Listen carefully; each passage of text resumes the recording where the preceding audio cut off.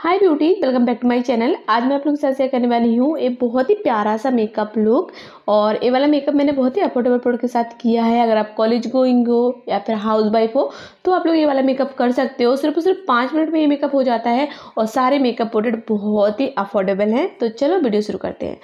सो beauty सबसे first step में हम अप्लाई करेंगे टोनर टोनर के लिए मैं यहाँ पे ले रही हूँ बायोटिका कोकम्बर टोनर इसकी चार से पाँच ड्रॉप्स मैं अपने हैंड्स में लूँगी और अपने फेस में टैप टैप करती हुए अप्लाई करूँगी। आप लोग ना टोनर डेली यूज़ में ज़रूर अप्लाई किया करो। टोनर आपके फेस की पीएच बैलेंस को मेंटेन रखता है और आपको जो पिम्पल वगैरह होने की चांसेस होते हैं ना, वो सब नहीं होने देता इसलिए आप टोनर ज़रूर अप्लाई किया करो। नेक्स्ट हम अपने फेस को मॉइस्चराइज करेंगे तो उसके लिए मैं यहाँ पे ले रही हूँ निब्या की सॉफ्ट मॉइस्चराइज क्रीम जो कि बहुत ही अच्छी क्रीम है। सो अगर आप नॉर्मल टू ड्राई स्किन वाले हो ना तो आपके लिए ये वाली जो क्रीम है ना, बहुत ही अच्छी वर्क करेगी। लेकिन अगर आप ऑयली स्किन के हो तो आप कोई लाइट वेट सा gel based moisture cream use करें। लेकिन आप मॉइस्चर क्रीम का ज़रूर यूज़ करें। सो मैं अपने पूरे फेस में मॉइस्चर क्रीम को अच्छे से अप्लाई कर लूँगी।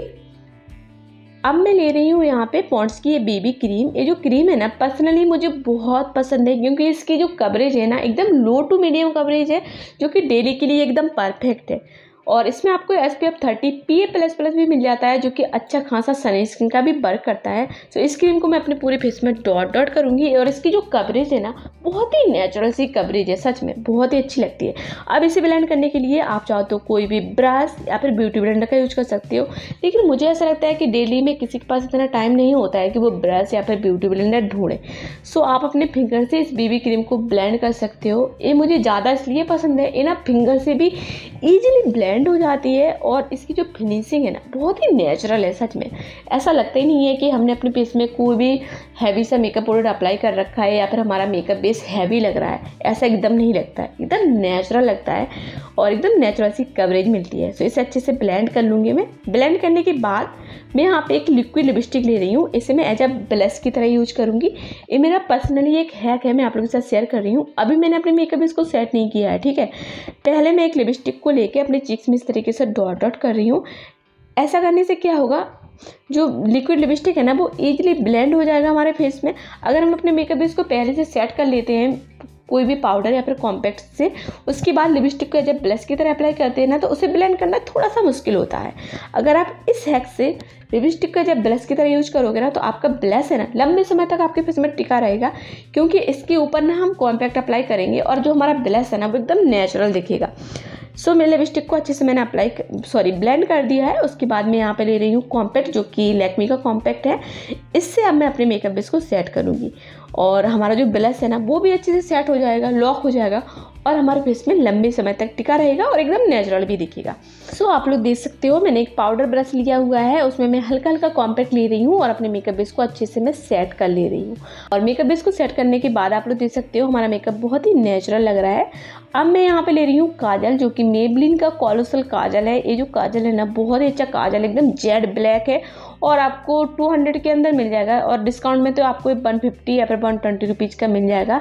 सो so, इसको मैं अपनी दोनों आँखों में अच्छे से अप्लाई कर लूँगी। अब मैं ले रही हूँ यहाँ पे आई लाइनर आई लाइनर के लिए मैं यहाँ पे ले रही हूँ ब्लू हेवन का आई लाइनर ये भी बहुत ही अच्छा आई लाइनर है और आपको फिफ्टी रुपीज़ के अंदर मिल जाएगा। सो मैं यहाँ पर बस नॉर्मल सा आई लाइनर अप्लाई करूँगी।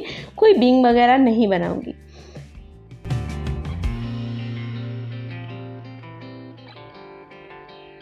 इसी तरीके से मैं अपनी दूसरी आइज़ में भी आईलाइनर को अप्लाई कर लूँगी और आईलाइनर अप्लाई करने से ना आपकी आँखें और भी ज़्यादा खूबसूरत लगती हैं। आप लोग देख सकते हो।